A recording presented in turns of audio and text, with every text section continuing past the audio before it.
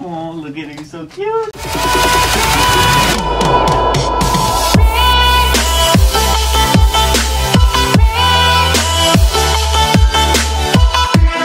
What's up guys, my name is Bryan, I'm back with another video.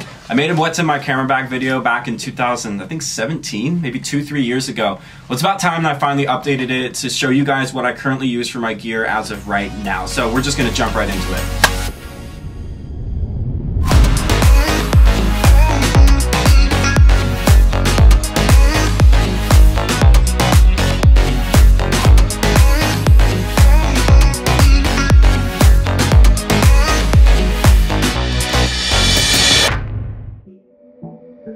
Alright, let's start with the bag itself. So I use a Lowepro camera backpack. I really like this one because it has a lot of space for me to put my actual gear in the lower compartment. I also like it because it has this top compartment up here. I can put a lot of accessories in it, especially if I need to travel for a weekend. I can put a change of clothes in here. It really just minimizes all of my extra carry-on bags around down to this one bag. I can fit a lot in this. Also has this side laptop compartment, which I really like.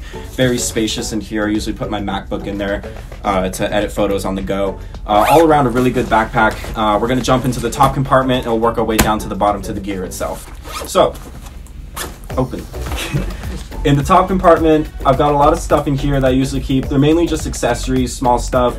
So what I usually have is I have some camera uh, lens cleaners right here. It's a little blowy thing.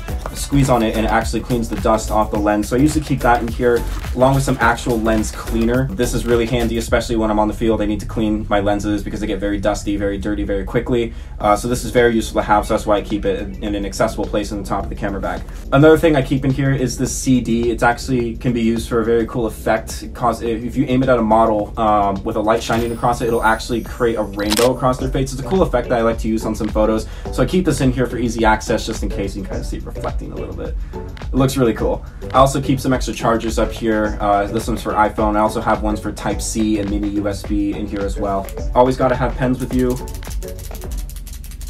Very useful. In other small accessories, I keep a Portra 400 film roll in here. This is usually what I shoot portraits with uh, in 35 millimeter film. Gear.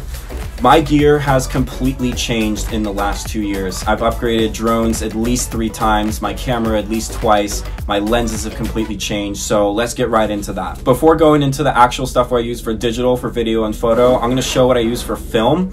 So I have a Pentax ME Super 35mm film camera. It's equipped with a 50mm 1.8 lens, and I also have a 135mm f2 lens. Now these, this is a great combo, especially for starting in film. I usually don't shoot film, um, but when I do, this gives excellent photos, especially coupled with the Portra 400 roll for portraits or a Kodak 200 gold for landscapes. Those are usually my go-to when I shoot 35 millimeter. All right, so now we're getting into the actual gear itself, what I use when I'm actually shooting a video for a company or for a project or for a client. This is what I use on the daily every single time I leave the house to go shoot. There's two main pieces of equipment that I use to shoot video and photo, and one is the DJI Mavic Pro 2. I just upgraded to this drone. The drone I had before it was the Mavic Air, and it was my favorite drone for a long time, but I decided to go up to the Mavic 2 because of this Hasselblad 1-inch sensor on the front.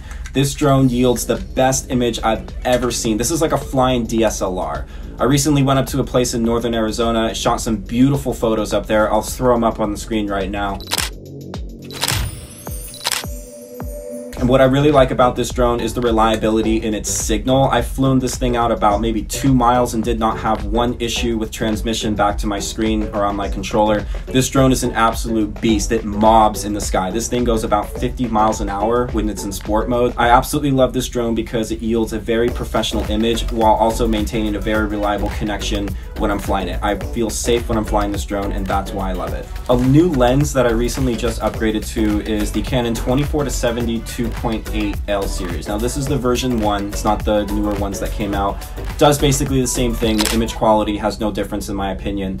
Uh, and I picked this up used really cheap. That's honestly the, my best advice is if you're gonna get into uh, photography and you wanna invest in some expensive lenses, go used because if you can find one that has no scratches on the glass or no dust or mold on, in the, on the inside, you can pick these things up for about a grand when they retail for about 2,500. I picked up this lens really cheap and this is honestly one of my go-to lenses because I can do wide landscapes at 24 millimeters and I can also go into 70 millimeters to get some really crisp portraits with the blurry out of focus background.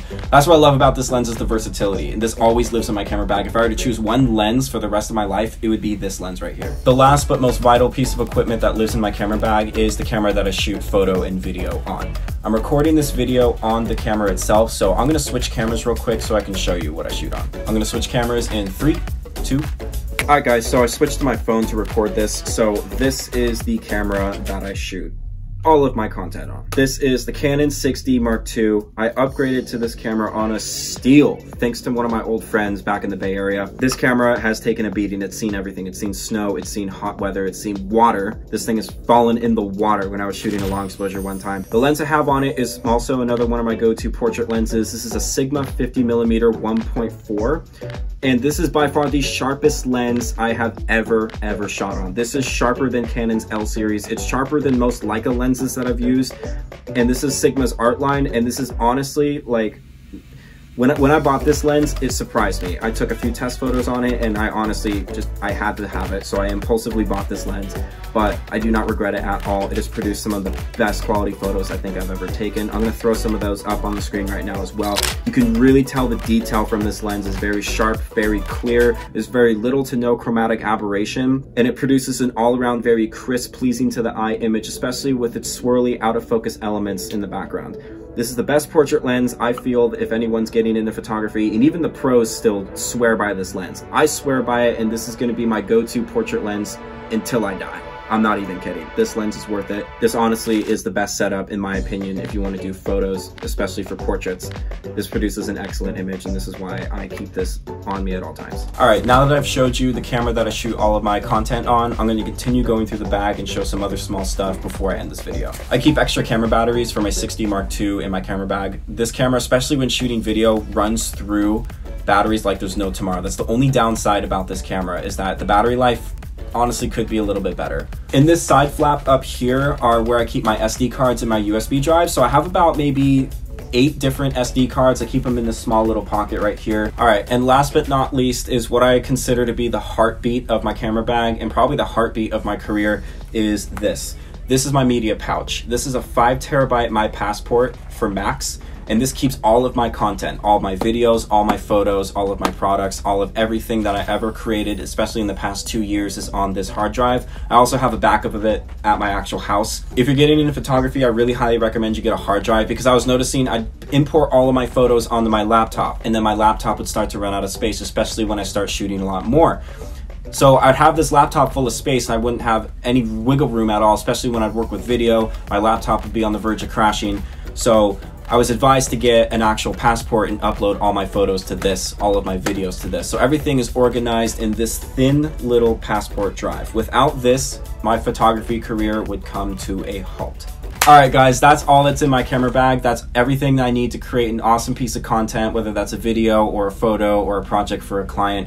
I pack really, really light. I don't keep too much stuff on me when I'm out shooting. I like to have everything very accessible, easy to access, and ready to go whenever I need it. And that's it. So please hit the subscribe button below, hit the bell so that you'll be notified every time I post a new video. Like I said, I'll have a lot more videos out soon. I look forward to it. I'll see you guys in the next video. Thank you.